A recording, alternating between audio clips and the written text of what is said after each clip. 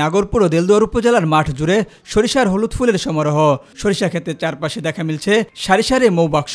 দেশের বিভিন্ন জেলা হতে আসা মৌচাষীরা সরিষা ফুল থেকে কৃত্রিমভাবে মধু সংগ্রহের জন্য মৌবাক্স স্থাপন করছেন। পর্যায়ক্রমে মৌবাক্স এবং মধু সংগ্রহকারীদের সংখ্যা বৃদ্ধি পাচ্ছে। মৌ চাষের মাধ্যমে আর্থিকভাবে লাভবান হওয়ায় দূর হচ্ছে বেকারত্ব আমি এই কাজের সাথে তিন বছর জড়িত। করার থেকে আমার বেতন করি সবকিছু দেয় এতে আমার সংসার চলে। এখানে মৌমাছি নিয়ে আসার কারণে বিশ পার্সেন্ট ফসল বৃদ্ধি হয়। এতে কৃষকরাও অনেক লাভবান। ওয়েদার যদি কোনো সমস্যা না হয় চাহিদা অনুযায়ী আমরা অনেক উৎপাদন ভালো করতে পারব। মৌ চাষি ও সরিষা চাষিদের সব ধরনের সহায়তা প্রদান করা হচ্ছে বলে জানিয়েছেন স্থানীয় কৃষি বিভাগ।